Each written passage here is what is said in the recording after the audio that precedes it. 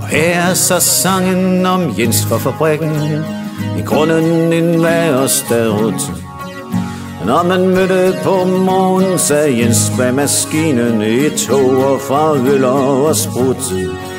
Den bevægelse, som foregik fra hånd til mund, han snilt havde lagt ind i maskinen.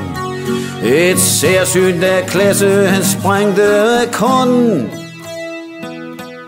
Det var altså måske noget med rutin. Når klokken slog tolv, og en fløjte så vest, var Jens altid første i tutten. Dog ej for at spise, men nøllerne røg, er det samme, det gjorde serutten. Så talen sådan om lyst og fast, til han aldrig aviser fik læst. Men når han er til sin maskine gik ned, Ja, der var køledisken som blæste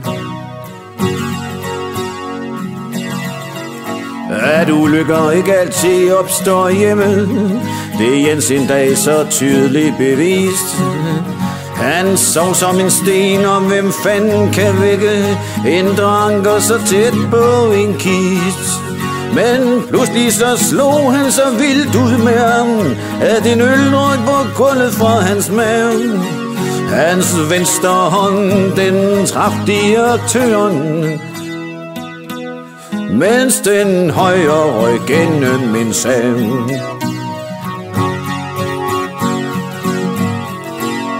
At læger måske også drikker lidt i smug. Tja, det blev aldrig rigtig konstateret.